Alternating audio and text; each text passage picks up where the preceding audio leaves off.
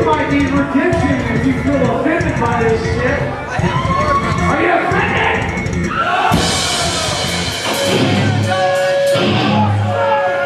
This is going out to the ones that need help. This is called You Probably Need.